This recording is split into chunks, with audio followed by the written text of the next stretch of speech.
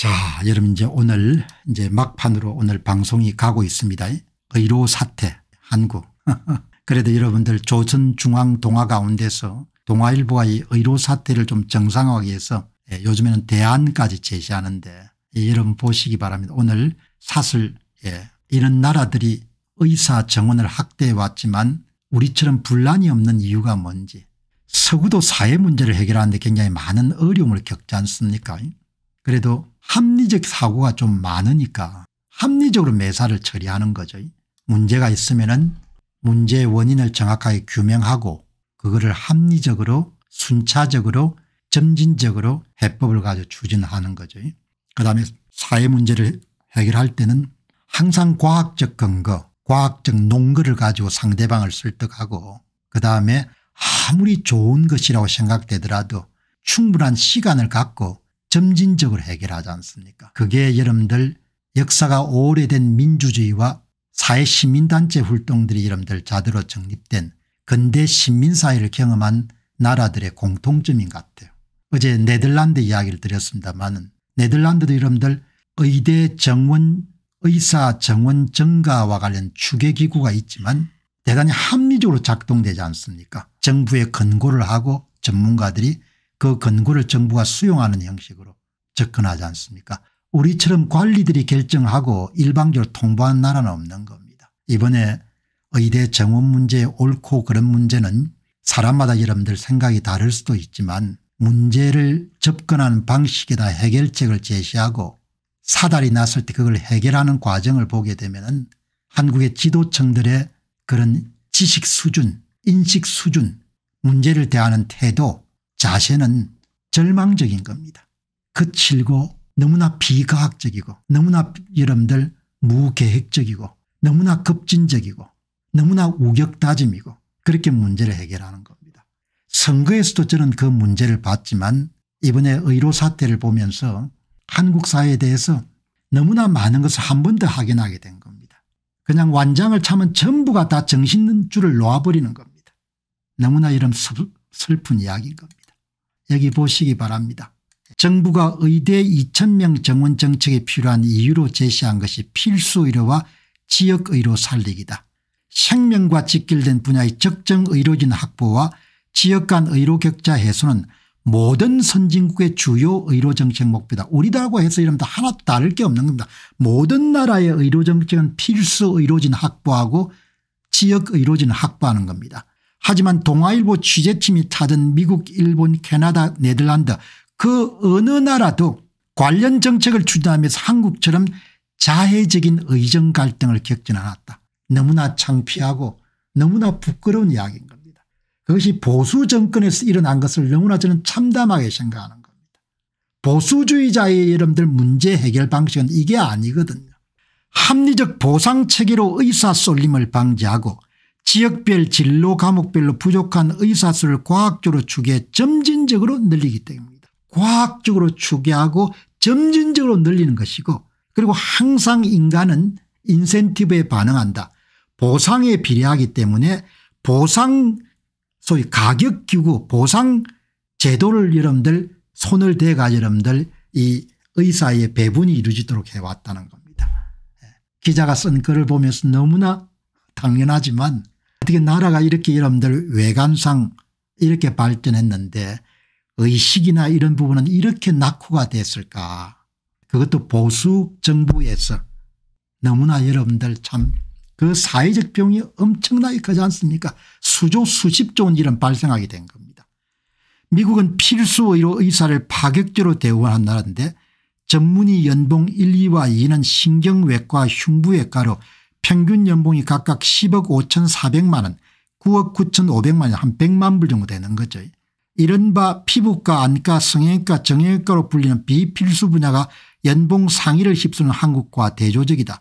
미국의 필수과 전공의 충원율은 흉부외과 100% 산부인과 99.6% 소아청소년과 91.8% 한국은 흉부외과 38 산부인과 63 소아청소년과 26%입니다.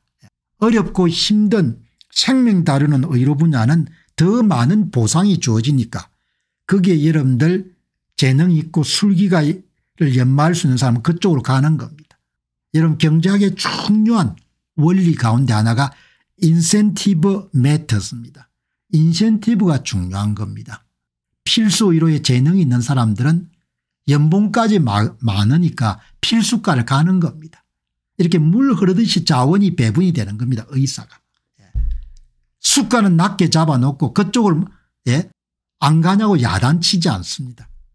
너무나 여러분들 이 짧은 글을 보면서 이렇게 나라를 근사하게 만들었는데 어떻게 사람들의 의식은 이렇게 낙후가 됐을까 나라 일하는 사람들이 이렇게 낙후가 돼서 세상을 소란스럽게 혼란스럽게 만들까 하는 생각이 드는 겁니다. 이 동아일보 기자들이 현장을 취재 가 쓴 이 글에는 경제 논리가 다 들어있는 겁니다. 사람은 수가에 반응한다는 거죠. 사람은 인센티브에 반응한다는 겁니다. 그쪽 분야로 갈 수 있도록 여러분들 수가가 조정이 되면 그쪽으로 사람들이 자연스러로 흘러간다는 겁니다. 일본은 지역의사 공백을 학비와 생활비를 지원받는 대신에 취약지역에 9년간 의무 근무하는 지역의사제로 메운다. 2008년 전국적으로 시행하기 전에 나가사키현에서 38년간 시범 운영하며 보완한 것이 제도의 안착 비결이다. 파일럿 테스트를 거치지 않습니까? 사회적 실험을 하기 전에 얼마나 일본인다운 접근입니까? 큰 사회적으로 확대하기 전에 한 지역에서 38년간이나 운영을 해보지 않습니까? 고령화를 앞선 일 경험한 일본은 의대 정원도 17년간 23% 1778명을 늘려 올해 9403명이 됐다. 17년간 1778명을 늘린 겁니다. 이제 보니까 여러분들 의료비 지출이 늘어나니까 이제 의사수를 줄이려고 하지 않습니까 독립적인 의사 추계 기구를 두고 과학적 근거에 기반해서 의대 교육의 질이 보장되는 한에서 늘리는 것은 모든 나라가 따르는 공식이다. 캐나다는 의대 정원을 1150명 늘리는데 20년이 걸렸다. 여러분 제가 무슨 의사들을 두둔하자는 이야기는 절대 아닙니다. 왜냐하면 의료 문제라는 것은 모든 사람들의 생사와 관련되고 우리 세대뿐만 아니라 다음 세대와 관련된 선거만큼 중요한 것이 의료제도인 거죠. 선거제도만큼. 예. 그래서 합리적으로 과학적으로 그리고 여러분들 정직하게 점진적으로 해야 되는 거죠. 그게 이제 이루어지지 않는 사회가 돼버린 거예요. 교육 여건이 열악한 지방의대 정원이 대폭 늘어나면서 서울 지역 의대와 초격차가 우려되는 상황이 발생하고 말았다. 세계 어느 나라보다도 가성비 좋은 한국 의료가 정책 실패로 붕괴를 코앞에 두게 됐다. 곧 발족한다던 여야 의정협의체는 의대생 휴학성인에 관한 견해차로 입실험 중이다. 최악의 사태를 모면할 골든타임을 이렇게 무책임하게 흘려보내도 되나. 이게 보수 진영에서 일어난 보수 정부라고 이름 붙인 정부에서 일어난 일이 이런 사달이 된 겁니다. 너무나 참 안타깝게 공 박사님 그래도 공상당 뭐가 된 것보다 낫습니다. 뭐 그렇게 여러분들 이야기하실 필요가 없지 않습니까 더 잘할 수가 있는데 그 사람이 이제 될 거 아닙니까 4년 전에 하나 뭐 4년 후에 하나 똑같은 거죠. 안녕하십니까 공병호입니다. 그동안 공병호TV는 선거 공정성 회복과 자유민주주의 체제의 보존과 발전을 위해 노력해왔습니다. 이런 노력들이 지속될 수 있도록 공병호TV의 전기 후원 프로그램이자 멤버십 프로그램을 소개해드립니다. 뜻 있는 분들의 관심과 동참을 부탁드립니다. 선거 공정성 회복을 위한 노력을 지지하시고 훌륭한 나라 만들기에 동참하시는 시청자분들이시라면 구독 버튼 바로 옆에 있는 가입 버튼을 통해서 정기 후원 프로그램에 가입할 수 있습니다. 가입 버튼을 누르시면 공병호TV의 후원자가 되시게 됩니다. 여러분의 후원이 선거 공정성 회복을 위한 노력에 힘을 더할 수 있을 뿐만 아니라 자유민주주의 체제의 수호를 그리고 발전을 통해 여러분과 후손들의 삶에 빛과 소금이 될 것입니다. 특히 그동안 공병호TV는 선거 공정성 회복을 위한 노력 과정에서 채널 성장에 제약이 가해지는 불이익을 감수해왔고 지금도 그런 불이익이 계속되고 있습니다. 그럼에도 불구하고 너무나 중대한 문제이기 때문에 공병호 TV의 노력은 계속될 것입니다. 여러분의 깊은 관심을 부탁드립니다. 감사합니다.